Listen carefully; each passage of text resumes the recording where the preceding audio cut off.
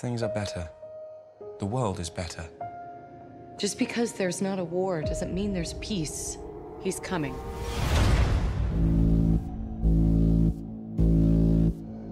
Some call him Apocalypse. He was some kind of god.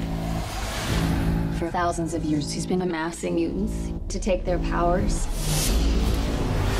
He always had four followers. Like the Four Horsemen.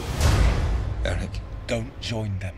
Whatever it is you think you saw in me, I buried it with my family.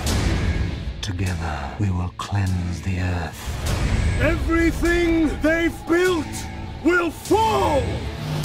And from the ashes of their world, we'll build a better one!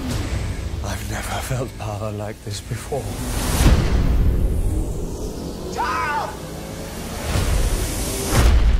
They took him. Raven, the world needs the X-Men. I'm not a hero. Students look up to you. If I'm going to teach your kids something, I'm going to teach them how to fight. Follow me. You're her. I'm not afraid of him. Magneto, he's my father.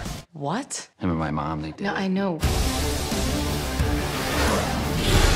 Not all of us can control our powers. Then don't. Apocalypse means to destroy this world. It's all of us against a god. And the most powerful beings on Earth.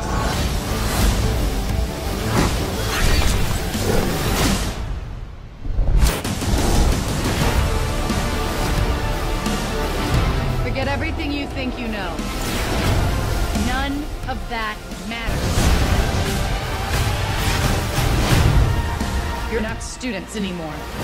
We'll take everything from them. You're X-Men.